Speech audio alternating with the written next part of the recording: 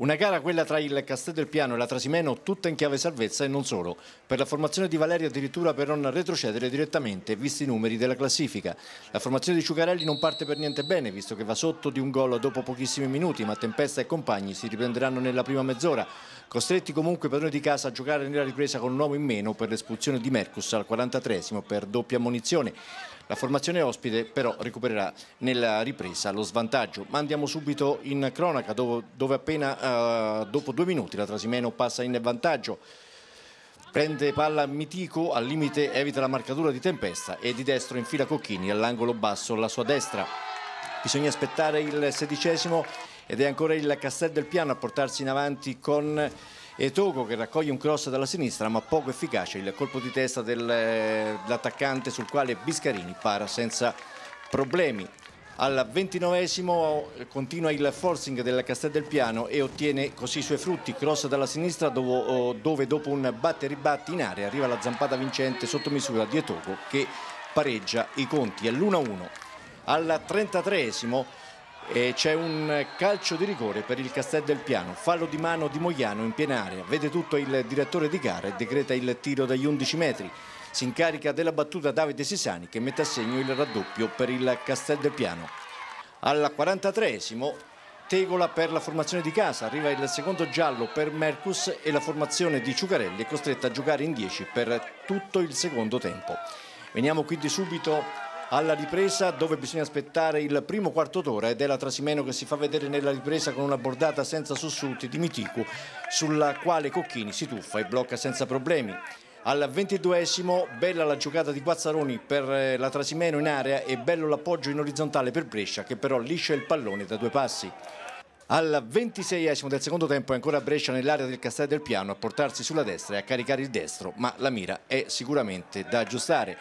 33esimo è ancora lo stesso giocatore, ancora Brescia dal limite destro oh, dell'area del Castel del Piano a provare ancora il tiro che costringe Cocchini alla deviazione, questa volta in calcio d'angolo al 39esimo eh, ancora la Trasimeno ed è tutto Trasimeno nella ripresa, tutte azioni degne di nota della Trasimeno, cross dalla destra sul quale Scarpelli con un tiro a giro la mette nel sacco sul secondo palo per il pareggio, è il 2-2, un pareggio che comunque a 180 minuti dalla fine del campionato lascia tutto come prima, sia per quanto riguarda il Castel del Piano sia per quanto riguarda la Trasimeno.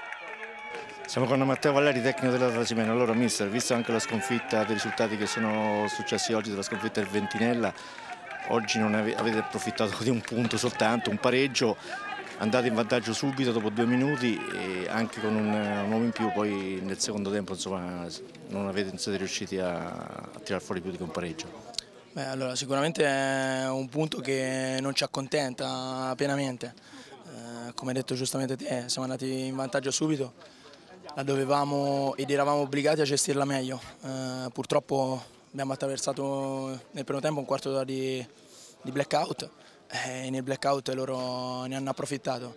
Eh, sinceramente ecco, la gestione del secondo tempo è stata positiva per il semplice fatto anche che eh, erano costretti a rimanere molto bassi, un uomo in meno. Eh, abbiamo sfruttato diciamo, la possibilità di, di, entrare più facilmente in area, non l'abbiamo sfruttata in piano nemmeno quella, ma siamo riusciti fortunatamente a recuperare la partita, anche perché eh, nonostante l'inferiorità numerica loro non è affatto scontato andare a recuperare un risultato del genere. Eh, ci prendiamo il punto, eh, non siamo pienamente soddisfatti ma continuiamo ad andare avanti per le ultime due giornate che restano.